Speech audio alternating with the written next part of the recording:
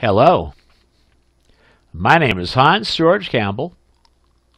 Tonight I thought I'd show you guys how to install Workbench 3.1 onto your compact flash card or hard drive. So let's get started.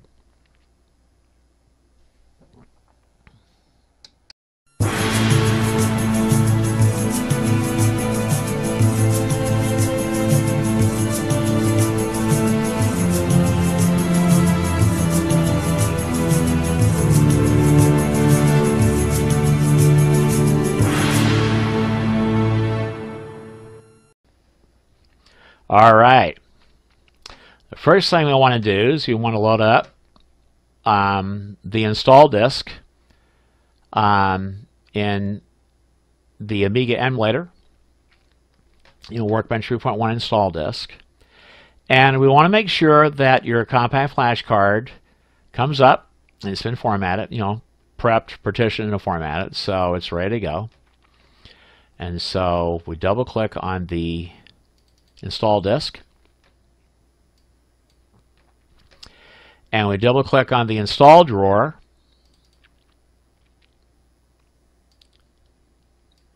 And we select your language for the install.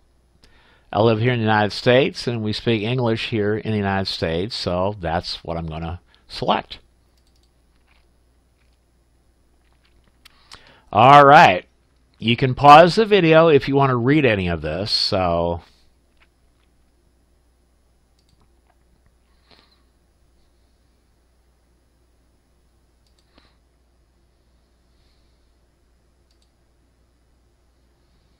select your language. Select a printer if you're going to use one. Now I do have an Apple Image Writer 2 printer, which actually works really well with the Amiga.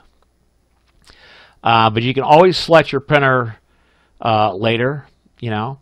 Uh, in fact, most of you that are using an Amiga 1200, you probably won't even use a printer. So just click on Proceed.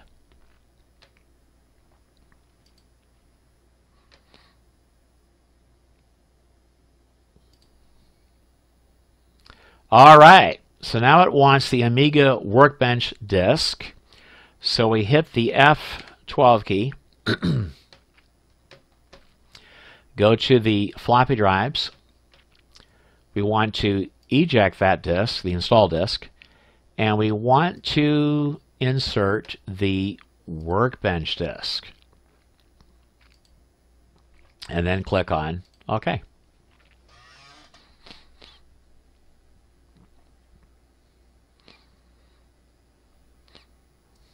It's just that simple, boys and girls. You're watching this in real time. this has not been sped up at all. You're watching this in real time. It goes pretty quick.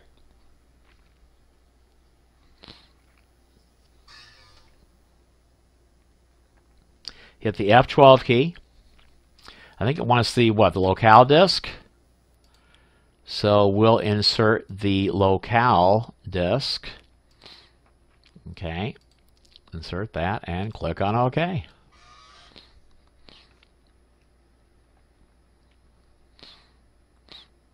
Now it wants the extras disk, so hit F12 again. Eject that disk and insert the extras disk. And click on OK.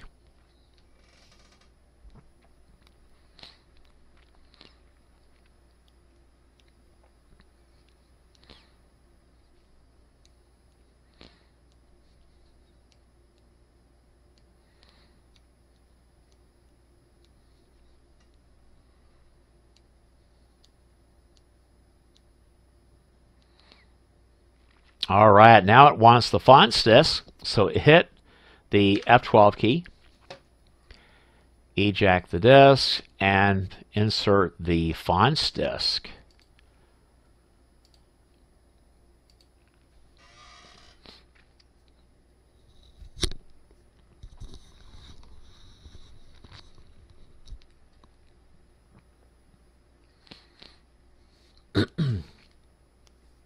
All right.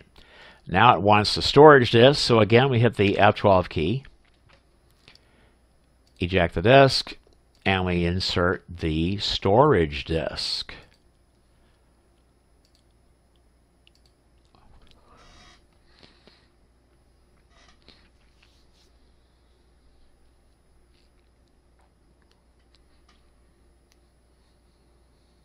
And finally, it wants the install disk again, so we hit the F12 key. We eject the disk and we insert the install disk.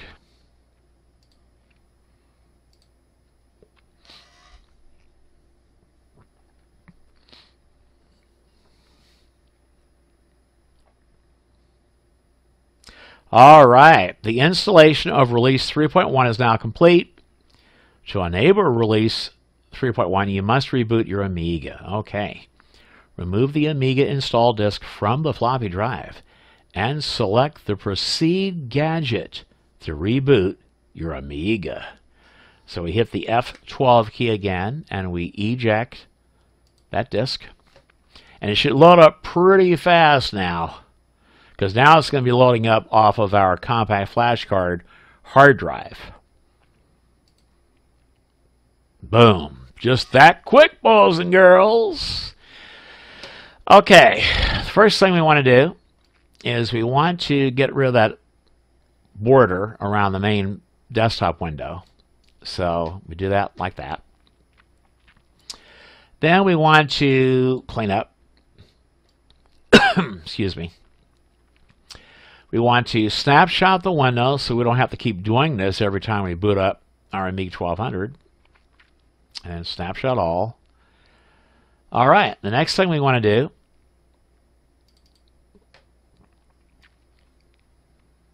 is go to our Prefs drawer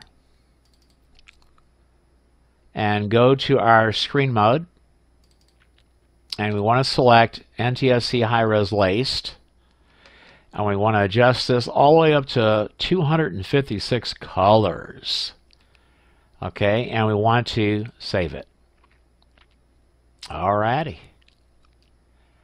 okay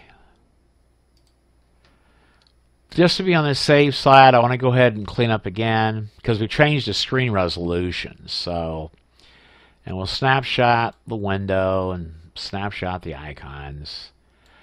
Okay. We just installed Workbench 3.1 onto our compact flash card. It is now ready to put into an Amiga 1200 computer. Okay. That's it for this video.